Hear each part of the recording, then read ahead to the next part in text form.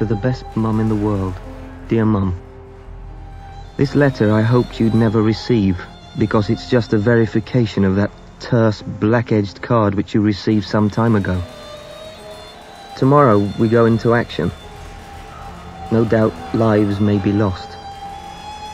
But if this leaves the world a slightly better place, then I'm perfectly willing to make that sacrifice.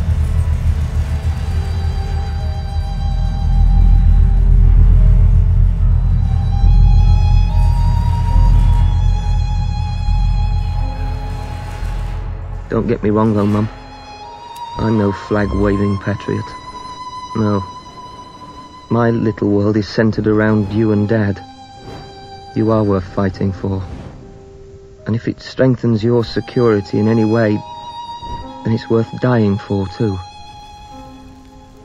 I want no flowers, no tears, no epitaph. Just be proud. Then I can rest in peace knowing I've done a good job. Surely there's no better way of dying. I loved you, Mum. You were the best mum in the world. Goodbye. Your son.